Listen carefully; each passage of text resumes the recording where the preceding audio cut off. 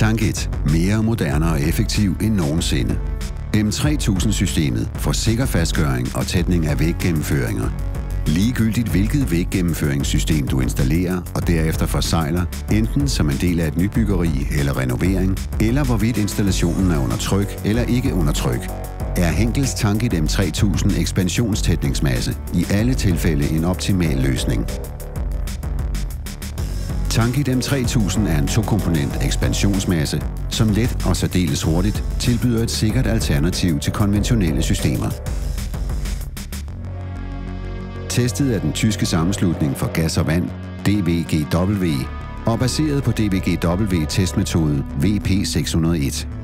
M3000 sætter sig allerede efter 5 minutter og hærder op til sin endelige styrke på bare 30 minutter forenlige med alle gængse byggematerialer og plasttyper og kan anvendes overalt. M3000 leveres i en 300 ml patron. Tætning mod vand under tryk er også muligt, men kun i kombination med Tangit M4082 tætningsslange. Oplev vores unikke M3000-system for hurtig og sikker montering af væggennemføringer til gas, vand, spildevand, el og telekommunikation.